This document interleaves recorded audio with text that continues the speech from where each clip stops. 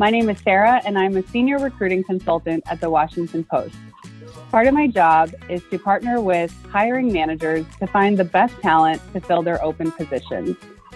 Every day, I talk to candidates from around the world and learn about the experiences that have shaped their professional careers. My favorite part of the job is connecting with people and then solving the puzzle of which candidate to hire. 2020 was a big year for me personally. I was able to tap into the Post's generous 20 week parental leave.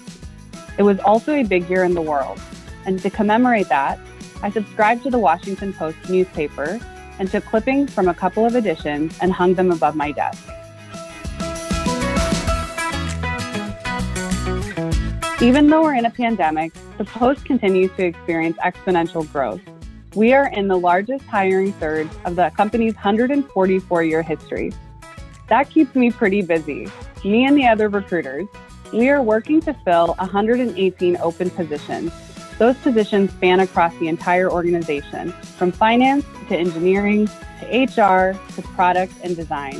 We are talking to candidates every day and trying to find the best talent to come and join us in this mission.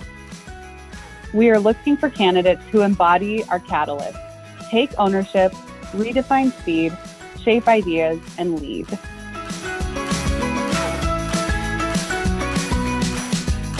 I love the Post focus on innovation, excellence, and integrity. Every day I get to be a part of something bigger. The press is the only industry mentioned in the United States Constitution. I think that makes us and the work we do pretty special, and I'm so glad to be a part of it.